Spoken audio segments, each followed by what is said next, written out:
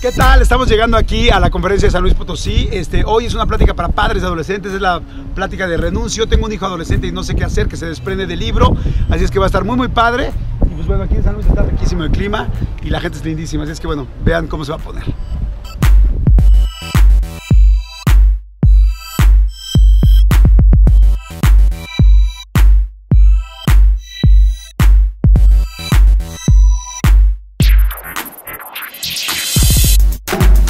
O una parte de, del internet que los que sepan o trabajan en el sistema seguro lo conocen perfecto.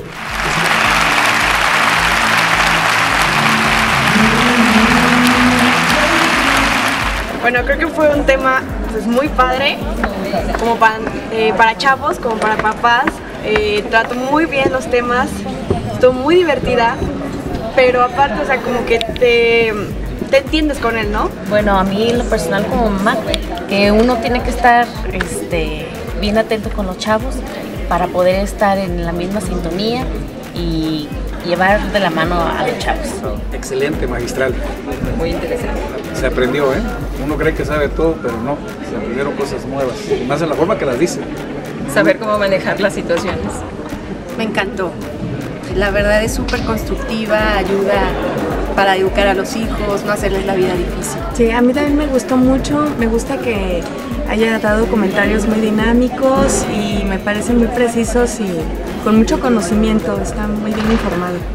Cuando da las herramientas para saber cómo, con qué palabras hablarle, qué frases decirles, qué no decirles. Nos motivó a hacer un mejor papel cada vez como papás. Muy buena, muy ilustrativa, muy de la época para, ser padres de hoy? Pues eh, una muy bonita experiencia, o sea, fue algo, en mi caso, novedoso. Eh, un acercamiento de mi parte. Muy buena, muy este, educativa. Eh, la verdad me gustó, sencilla, práctica y muy elocuente realmente, así como es Jorge. La verdad muy muy padre porque fue como una experiencia diferente, me hizo ver las cosas de otra manera y la verdad no me esperaba ver los dos ángulos de cómo lo veían los papás y cómo lo veíamos nosotros. Pues yo creo que cuando estaba explicando eh, lo que decían los papás y lo que decían lo que decíamos nosotros y cómo reaccionábamos. Yo creo que el de los límites y las reglas es el de los más importantes porque de ahí se basa todo, de ahí es ahora sí que lo más importante para poder guiar a los hijos por el buen camino. Muy interesante y con los temas muy actuales, eh, recordando los libros que ya he hecho, este, una gran ayuda para nosotros los papás.